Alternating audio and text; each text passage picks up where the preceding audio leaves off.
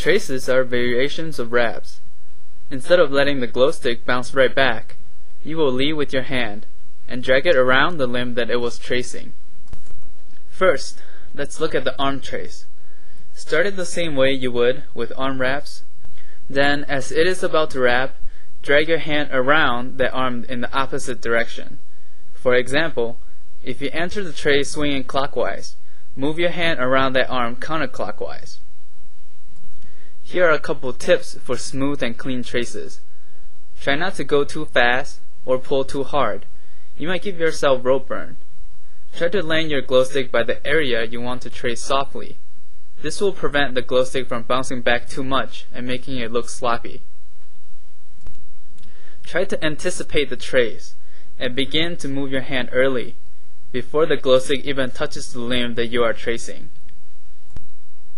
Try to exaggerate the tracing hand motion. Move your hand in a big circle around the limb that is tracing. Don't be lazy about it. Move your hand in bigger circles than you think you'll need to. This will prevent the strings from getting caught by the friction. These tips are especially important for neck traces. Now you can try to mix in some traces with wraps when you're creating your combos.